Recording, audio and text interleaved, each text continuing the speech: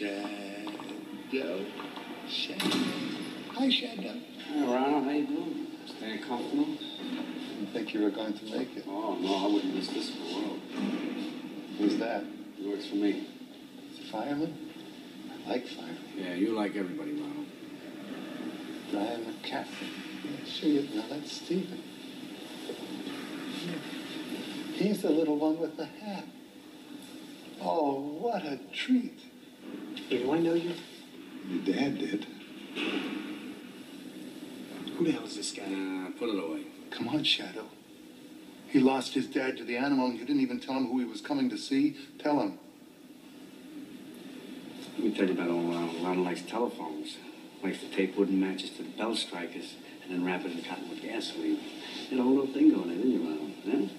Hmm. And when you got bored, what'd you do? What'd you do? Started making telephone call. Never proved. uh,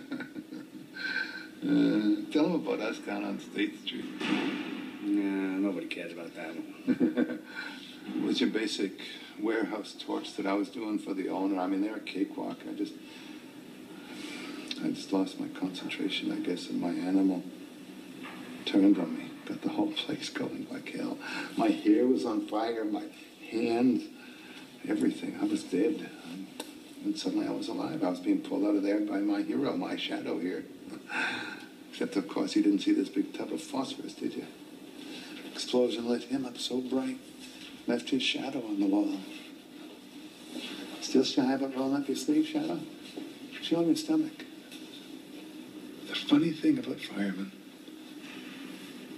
night and day, they're always firemen.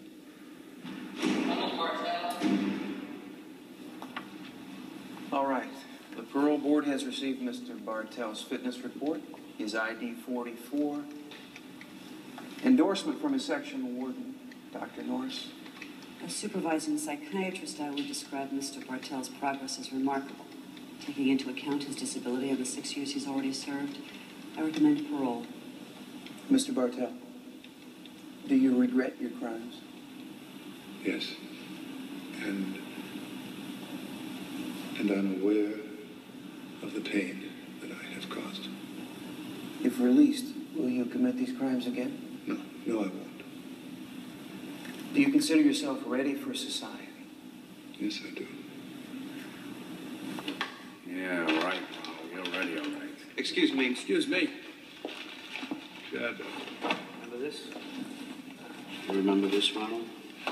Remember who it belonged to? What did you do to that little girl, Ronald? It's not fair, Shadow. What did you do to that little girl, Ronald?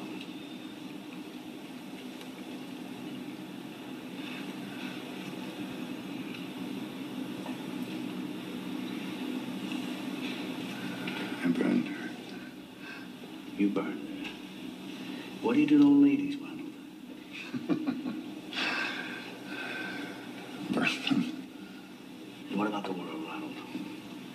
What would you like to do in the whole world? Burn it all.